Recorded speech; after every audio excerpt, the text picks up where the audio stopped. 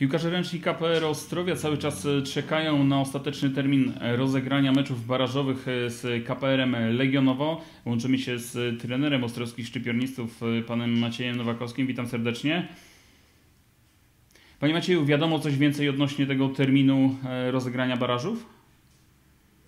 No jak na razie nie. No, żadne, z tego co ja wiem, żadne pismo ze związku tutaj do naszego klubu nie, nie wpłynęło jeszcze tego co pamiętam, jak, jak pojawiło się to, ta pierwsza wiadomość taka, że ten turniej ma być rozegrany, no tam była taka adnotacja, że drużyny zainteresowane y, będą poinformowane w późniejszym terminie. No ale z tego co mi wiadomo, jak na razie y, nie, nie wpłynęło żadne pismo i po prostu my czekamy na to. Wiemy tylko, że Nielba Wągrowiec się wycofała i że prawdopodobnie jeśli związek zaakceptuje to, to może y, ten baraż być nie turnieje, tylko dwumeczem. No właśnie tak naprawdę patrząc jeszcze na etapy rozmrażania sportu zaproponowane przez e, polski rząd e, w sobotę, e, Wy tak naprawdę łapiecie się dopiero na trzeci etap, kiedy otwarte zostaną sale sportowe, ale pojawia się pytanie, czy w sześć osób na sali sportowej można cokolwiek zrobić?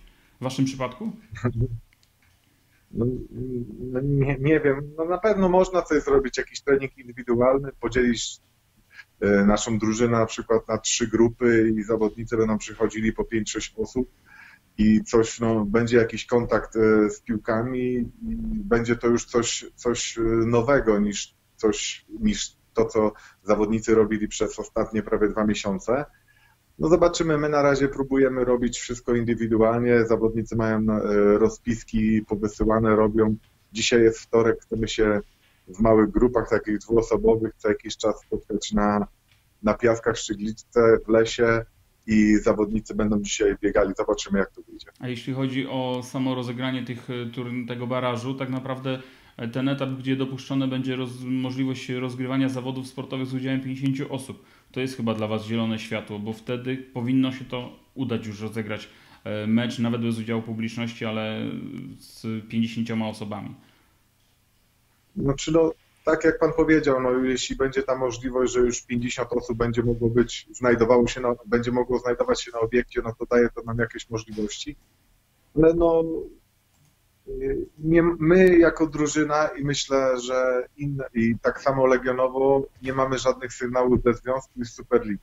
Czy na przykład y, budżet klubu będzie musiał wynosić te 2 miliony, czy będzie mniejszy ze względu na to, y, że jest pandemia koronawirusa, są problemy gospodarcze, firmy zamiast sponsorować sport wolą utrzymywać swoich pracowników, co jest normalne. Nie ma żadnych informacji. Ze związku tak samo mówię, no my jesteśmy w takim samym zawieszeniu.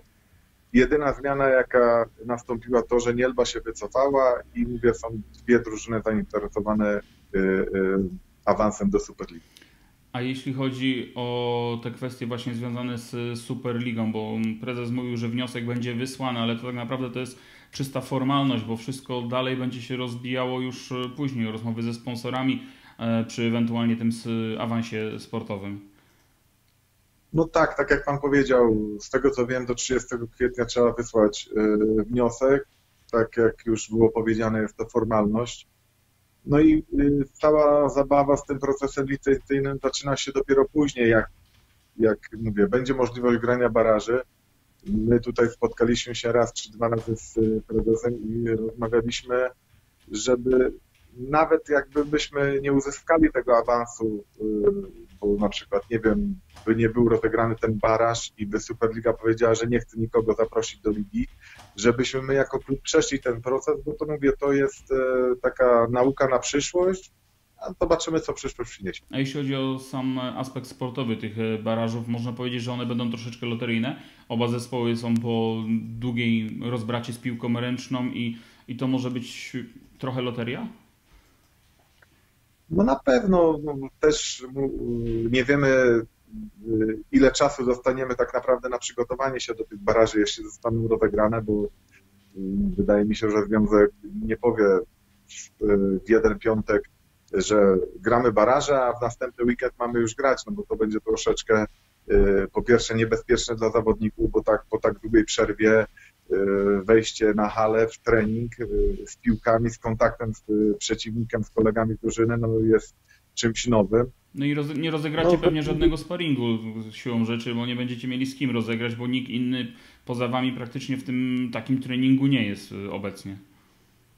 Znaczy, no, z tego co wiem, no, te drużyny jakoś tam się ruszają, trenują indywidualnie. Teraz ostatnio czytałem, że nawet Nielba Wągrowiec od tego czwartego e, chyba maja wraca jak, w jakiś sposób do treningu, pomimo tego, że oni e, e, już nie biorą udziału w tych rozgrywkach, ale zawodnicy mają kontrakty zapewne do, może do końca maja podpisywane, żeby się z tego jakoś rozliczyć z miastem, po prostu muszą, muszą dalej ćwiczyć i, i też mi się to wydaje, y, dlatego tak jest. A my, no, no, dla zawodników samych, tak jak i dla nas, dla kadry szkoleniowej, mówię, ten baraż jest na pewno czymś ciekawym, bo mówię, to Legionowo jest bardzo mocną, mocną drużyną.